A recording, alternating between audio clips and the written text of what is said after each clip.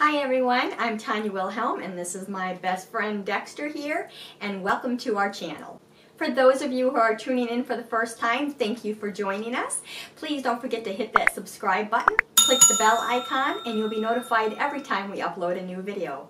And for our returning friends, thank you again for joining us. Today I wanted to share with you the results of Dexter's cardiology visit. So as you may or may not know, the Cavalier King Charles Spaniel is very prone to developing heart disease, particularly MVD. And unfortunately, this is a occurrence for most of our Cavalier friends. In the description below, I'll actually have an article that I did with Dexter's cardiologist on what you need to know about MVD and how often you should be evaluating your dogs.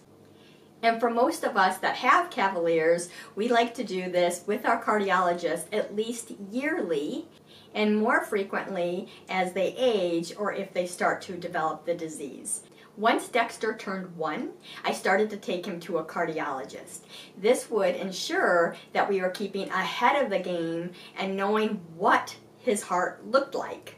And each year, the cardiologist would either give us a, we're, we're still good, there's no disease development, or as he started to get older, his heart did start to decline. Once Dexter was around three or four, his heart was starting to decline a little bit and he was starting to develop a little bit of MVD, and so the cardiologist started to include yearly echograms. This would allow Dexter's cardiologist to get a better view of his heart and what was going on and Dexter held stable until his last visit, and as you may know, he just turned 12, so it was right before his 12th birthday, probably about two weeks before his 12th birthday. And unfortunately, the cardiologist saw some leaky valves. So now, instead of every year, Dexter is actually going to go back every nine months possibly more often depending on what the vet sees. And this is so we can see how his MVD is progressing and if we need to change any action. And now Dexter is officially taking heart medications to help control his MVD. What I wanted to share with you today is actually the discussion Dexter's cardiologist had with me about his results. So what I did was I hit the record and I have a little audio clip. So we're going to go ahead and listen to that now. Hey, Hello. How you doing? Good. How are you, Dr. Brown? Good, good. Mr. Dexter, he did change a little bit. Okay. Yeah. So, not surprising. He's a Cavalier, right? So, um, what changed is that his valve itself, you can clearly see that it's degenerated a little bit more, weakened. And so now um, we obviously just hear one murmur, but in fact, actually, he's got two leaks in that mitral valve um, and they're distinctly different leaks. They're just happening in different areas of the valve itself. So he has kind of two leaks that are going down through that valve.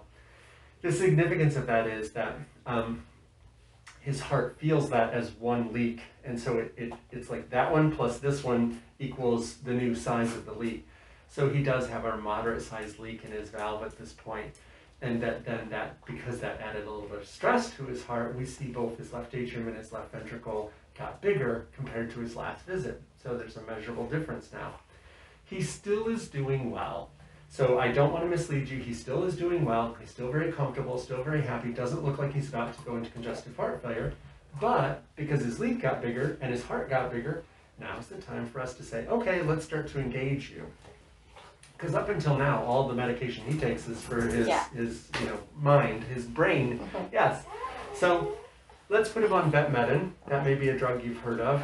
Uh, how it's beneficial to Cavaliers, and we have a lot of research in Cavaliers, is that it enhances the power of strength and squeeze and contraction of the heart. So their heart actually contracts better, more efficiently. And by doing that, what you're really doing is you're saying, I'm going to maximize the output from his heart that goes forward out to his body to do fun things.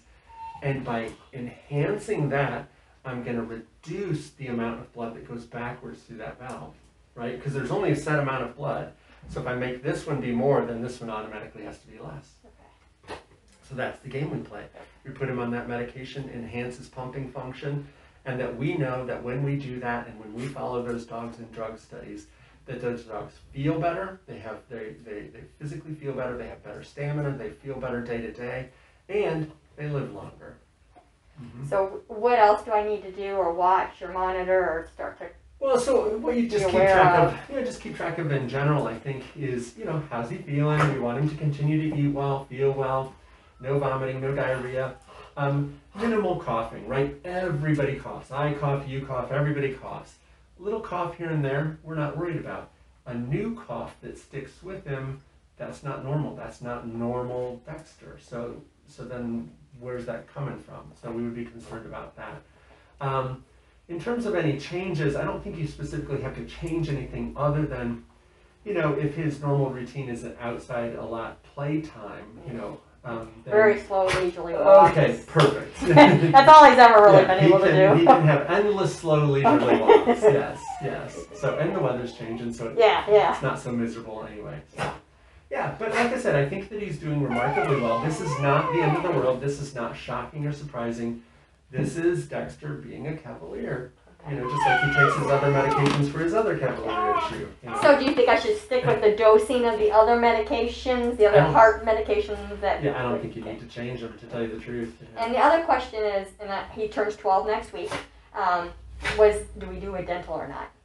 You know, do we put him under for a dental at 12 and heart and Yeah, um, let's see. She said they're not, I mean, they're not great, but she said they're not like Let's look again. scary, but Okay, Christy. he never did well under anesthesia to begin with. Oh, he did not. Even when he was younger, he kind of came out slow, I thought.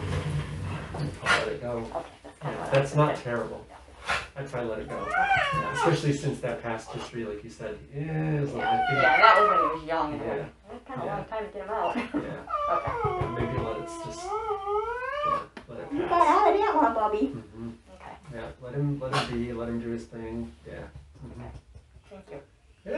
Well, I appreciate all your great care and Oh, everything sure, as always. sure. So are we on track if nothing changes another year, or should we go I six said nine to months? twelve. Nine to I 12, said nine okay. to twelve, so I did shorten it up a little Sounds bit. yeah, and then obviously if something comes up before then, just call. Okay. And you know we have So that's our diagnosis, and as you can see, Dexter's 12, so he's still doing pretty good, but we just want to be aware of what's going on, and I want to pay close attention to how he's feeling, continue with his regular calm, relaxing exercise, and don't overdo it for him. And that's actually been Dexter's style of activity over the last five years as his body's aged, as his SM's progressed, and now as his heart disease progressed. And although he looks quiet here, we're going to do some more videos next, and we'll see my little spunky monkey in action.